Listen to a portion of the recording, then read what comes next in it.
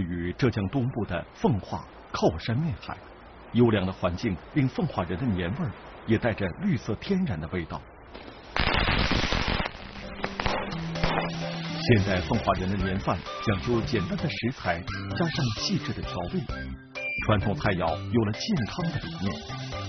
每逢过年，奉化市溪口镇三十村的孙芳芳一家都要精心准备一道传统年菜——四喜烤麸。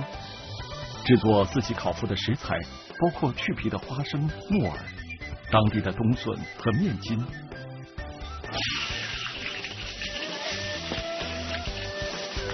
啊，因为过年了嘛，大大家都都高高兴兴的啊，子女啊都都要回来了，是吧？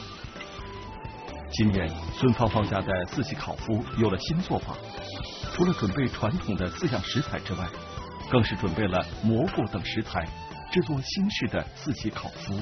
这个不是加到四喜烤麸里的是吧？哎，不是加在四喜烤麸里的，这是直接熬汤了。就是一二三三样，三样来调这个味儿是吧？有这个鸡菇，当地的冬笋，然后这个是这个是什么菇？哎，这个海西菇，还有还有一种，哎，还有一种还有这种小哎蘑菇，哎哎哎，小蘑菇，小蘑菇哎，对对。以前不是这么做的，哎，以前不是这么做。啊，现在现在要为什么要这么做呢？现在现在呢，因为要要要讲究那个营养了，嗯既要讲究营养，要更加健康嘛，所以用那个绿色的那个一品代替调料了。代替调味品哎，调味调味啊品了，这样子。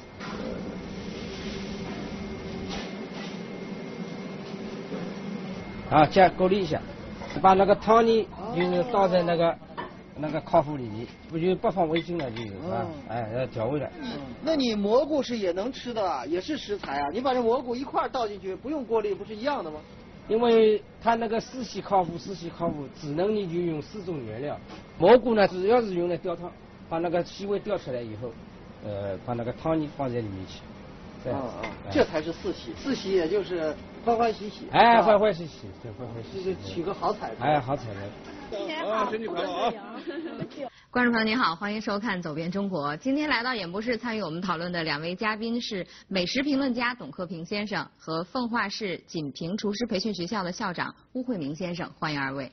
呃，在节目的一开始，我们看到的是一个美食短片哈。那我想先问一下邬校长，您是本地人，呃，像刚才那个菜，好像他用呃蘑菇汤在代替味精的作用是吗？这是一种创新的做法吗？原先这个四鲜烤麸呢，我们调味呢是传统的，一般都是这个用味精给它调味。现在不是人人都讲这个健康，菌菇里边呢，它主要就含有这个呃氨基酸，呃就能代替这个味精的吸味。其实就是一种做高汤的形式，是吗？对，我觉得中国菜，比如有荤菜有素菜，尤其是那种寺院菜的那种净素，他们那个钓鲜的话，基本是用蘑菇跟黄豆芽。哦，还有黄豆芽黄豆芽哎，这是素菜。荤菜呢，就是说以前呢，就是说没有味精，因为味精是一九零八年才发明的。嗯那在这之前没有味精之前呢，我们的先人们就怎么钓鲜呢？比如有一些海鲜、海肠子什么的哈，不用了，他给它晾干了，磨成粉。嗯。哎。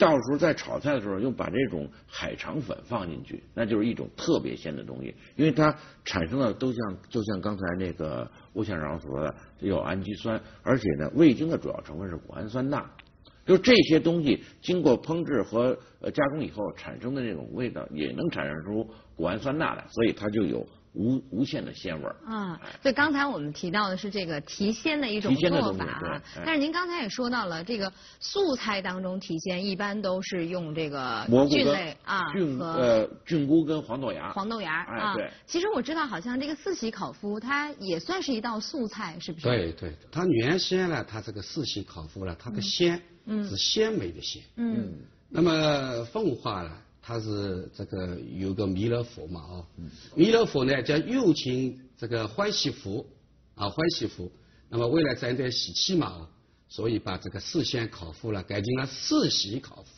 哦，以前哎。叫四仙，哎现在叫对四喜。对对。哎。那董先生，您作为美食评论家，你觉得这道菜怎么样？弥勒佛的俗间的化身是布袋和尚，他呢原记在奉化，他呢那种那种就是特别喜庆那个样子，老百姓都喜欢。而且呢，它又有送子这个含义在内。摸摸他的那个大肚皮呢，欢欢喜喜过新年。对所以呢，都是比较欣赏或喜欢这个布袋和尚的。这个斯基考夫呢，跟这种弥勒菜联系起来，就是特别好的一个有吉祥兆头的过年菜。嗯，而且还把本地文化和对饮食都，结合在起来了一起哎，对，弥勒文化融合在这个这嗯个。是的。其实今天呢，我们这一期节目也是要把奉化的四道美食一一推荐给大家。那我们接下来就接着往下看。酱烤猪头是奉化人的传统菜肴，有着四百多年的历史。焦黄的食材经过糖炒，令人胃口大开，因此酱烤猪头也就成为了奉化年饭中的主要菜品。这道菜的吃法讲究细水长流，丝拔得越长，日子就过得越红火。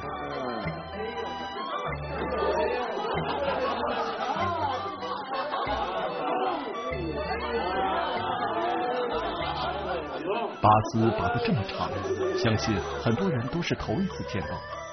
吕志明厨师用了一种特别的制作方法，让这种酱烤猪头老味儿新吃。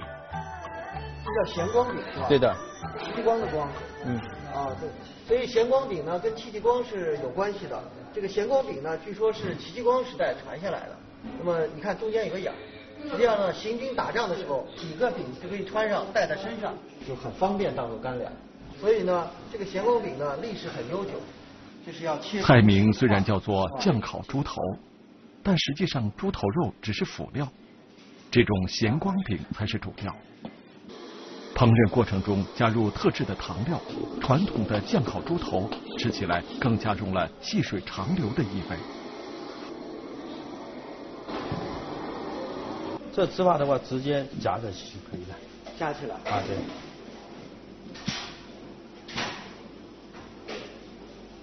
哇塞，哇，这能加，还能再再长吗？还能再再再来，还能再长啊，还能再来，还能再长。对对对对对。它这得有一米了是吧？其实这个我看不止一米了啊，挺长的挺长挺长。啊。这这道菜我觉得它名字特别抓人，它叫酱烤猪头啊，但是吃起来好像就是拔丝咸光饼，是不是哎？，这个酱烤猪头呢，它是奉化的一道名菜。嗯。那么原先它这个名字呢，呃，也不是叫酱烤猪头，是奖励的奖，犒劳的犒，哎，酱烤猪头啊是这样子。那么说起这个酱烤猪头啊，它还有一点故事在里边。嗯，它是要奖励谁？犒劳哎，对对的啊，它还有个故事在里边，在我们奉化沿海一带呢，常有倭寇来抢掠。那么戚继光这个带领这个戚家军啊，就是抗击倭寇。那么打了个大胜仗，奉化当地这个百姓啊，把猪头肉啊切成片，用糖呢熬成了糖浆，把猪头肉呢粘在这个光饼的下面，去军营啊去犒劳这个将士。那么戚家军一看，以为都是光饼嘛，那就收下了。啊。哎，但是我觉得这个方法倒是很巧妙，但是你看哈，董老师他后来做的这个办法就把那个肉去掉了。其实这个做拔丝这道菜是我们传统的一种技法了，呃鲁菜里面比较多，但是北方基本是做甜食，什么拔丝山药、拔丝苹果、拔丝土豆，嗯哎，就是拔丝这种东西。刚才这个拔丝确实这个技术很棒很棒了，应该拔得很高。北京以前有这么一个故事，说这拔丝技术高到什么地步？说马上上菜要拔丝了哈，旁边门口那个摩托车长江七五零发动着，沾上筷子拔着丝，摩托车开动，绕两公里之后那丝儿还没断呢。就是说这个这一个一个是记忆记忆的问题，再一个呢就是那个糖一定要熬得好，炒的嗯才又能把这个丝嗯拔得越越来越长。那吴校长，像这个丝为什么能够拔得那么长？呃，老的传统做法了，就是一个水跟糖糅合在一起，就是熬。那么我们想了以后呢，就把它改良了。哦，改良就是啊，煮煮木耳其煮好以后，这个水跟糖糅合在一起。嗯那么解决了两个问题，一个问题就是丝，你刚才看了主持人啊、这丝长不长？很长，绵长，很长很长。那么另外一个呢，它长时期不吃亏，你冷了也不吃亏。就是冷了拔也不会断。哎，不会断，不会断，冷拔也行。哦。再再一个呢，它木耳大家过去都知道，它是植物的营养品啊。对。它这个水里边放到这个光饼里边去，就是增加了菜肴的营养。嗯。哎，就这种做法，董先生以前也见过吗？这种改进我觉得真的很不错，而且很喜庆啊。换句话说，如果这种做法借鉴到您刚才说的那位大厨身上的话，是不是能够围着三环四环跑好几圈？至少三环绕半圈。三环绕半圈。但是话说回来啊，我觉得可能南北方做菜真的差别还挺大的。对。比如说他们会把咸甜都。放在一起是的，像你看我们吃粽子的时候，都觉得北方就是吃枣粽，枣粽的或者豆沙这种甜粽，但是有就在浙江啊，我们会吃到很多的肉粽。对对对，有有有。这是不是南北方人口味的不同？对，可好吃了。我觉得一个是呃南方人生活的比较精致，再一个来讲物产呢要比北方丰富一些，北方相对来讲简单了一点，是吧？所以呢，在这个吃的方面上。就是长江南一带远远要比北方丰富的多。嗯，因为我们刚才也说到了，奉化呢是一个沿海的城市，但是目前两道菜没有看到海边的关系哈。接下来这一道就有关了，我们来看看记者的调查。中国人过年少不了打年糕，特别是在奉化，打年糕意味着年关将至，雪白的年糕团在手上，丰收的喜悦乐在心里。如今，奉化年糕加入了绿色食品海苔做辅料，传统年味儿有了新时尚。哎，对，这就是海苔，这就是，哎呦，这跟头发丝一样的是吧？哎哎。啊，有的还有海苔，就是海藻一类的，它是很丰富的维生素，渔民呢用它呢当做这个粮食，做了很多菜肴。这个海苔都是这个季节来来收吗？冬天的时候收，都在冬天收。哎，啊，夏天的、春天的时候还要出了，刚好冬天也是过年的时候，哎，对对也能用上。对对对，过年过年的时候，这个海苔最好吃了，像梳那个头发一样。奉化市附近的海边环境良好，捞起的海苔可以直接食用。老味新吃的菜肴五台年糕，就是用这样的海苔经过晒干、烘焙、加工而成。哎，烘焙一下，给它烘酥了。奉化市锦屏厨师职业学校的邬慧明说：“五台年糕这道菜是奉化年饭中寓意最丰富的菜肴之一。这样子，我们这个寓意呢，就是说一层台，一层高，抬高抬高，越来越高。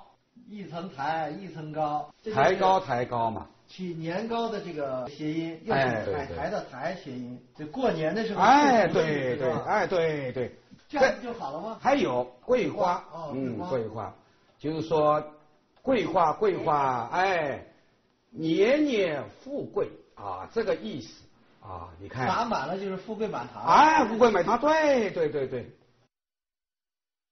这道菜还是看着挺赏心悦目的哈，尤其是颜色上，红的、绿的、黄的都有了。我看刚才邬校长也在做这道菜。这是平时家里头也会做着吃的吗？有的，有的。刚才那个菜呢，它叫五台年糕，是近年来这个呃凤凤凰的创新名点，创新的名点。这个五台是什么意思？五层吗？哎，五层五层。啊。哎，说起来呢，跟凤凰的蒋介石先生呢，还有点故事在里边。嗯。哎，民国时期呢，这个奉化同赵渔村啊，有一户人家。呃，他是五代同堂，那么这个年龄再高的一位了，呃，他到一百零二岁，那在当时啊，那是一件了不得的事。对，蒋公呢知道了这件事以后呢，他就写了一个五世同堂，五台年糕呢，实际上也是根据这个故事，他把它把它把摆进了五层。啊，那这个菜是渔民发明的吗？这个菜啊，是渔村啊。根据这个故事创作了这个菜。嗯，其实这可能就是海边它独特的一种资源哈。对，我觉得利用台菜加入年糕里边是这个，就这奉化这个地方一个独特的地方。但是对于年糕来讲是全国各地都有。嗯。从云南那种饵块，嗯到朝鲜族的打糕，到北方的各种各样的年糕，就是年糕很多种。但是这个南方的年糕，尤其奉化这一片，基本上是糯米粉跟精米粉一起做的。嗯但是呢，像到北方呢，就有黄米的、年糕亮米的，还有其他颜色的。嗯但是北方吃年糕一般是吃甜的，对蒸、炸，对，就是这这样。嗯但是到南方呢，它这个年糕呢，它不仅仅是一种主食或者点心，它还可以做成菜，像五台年糕算一种，嗯还有一种炒年糕、煮年糕，加点腊肉，加点嗯青菜一起炒，也很好吃。这是南北方的饮食上的一种差异。但是其实说到它这个年糕的时候，我还是挺怀念从小到大吃的那个黄米的年啊，糕的对，。咱北方都吃黄米黄米糕、黄米年糕，而且黄米糕凉的热的吃都好，都很好吃。那像董先生今天能不能给我们介绍一道这个黄米年糕的独特的做法？现在是冬天，对吧？就是那就铺上一层那个特别好的金丝小枣，给它铺上一点蒸，我这蒸熟了切块吃，就我觉得就非常好了，对吧？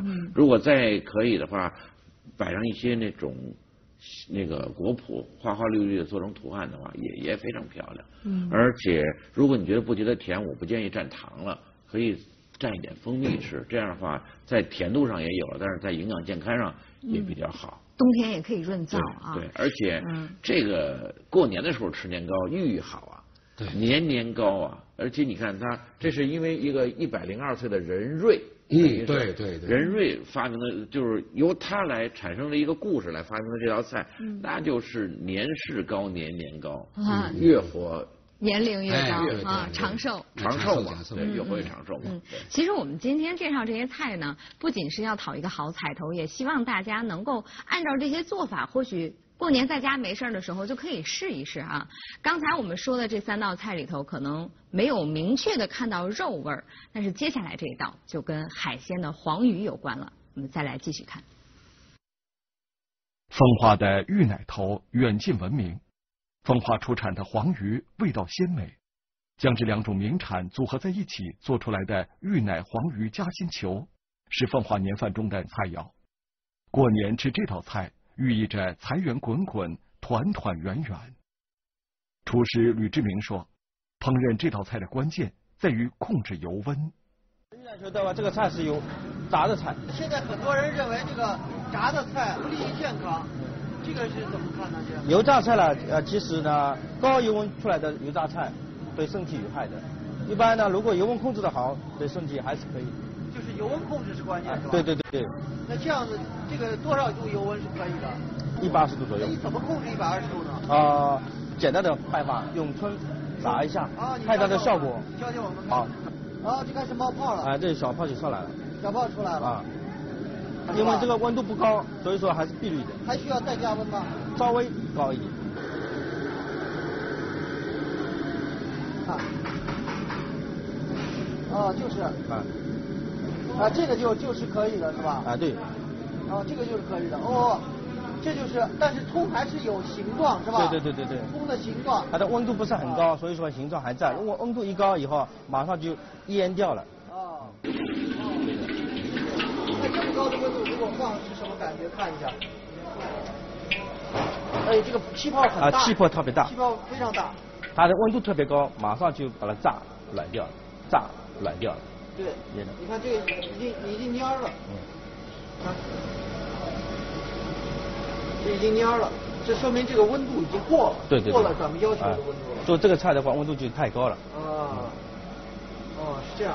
所以李师傅的意思就是说，这个炸这个食品呢，不是完全的说，呃，利于健康还是不利于健康，关键在油温，油温合适了，对健康没有害处，但油温高了，对健康就有害处。特别是做这个这菜，油温不能高，一高的话容易破掉。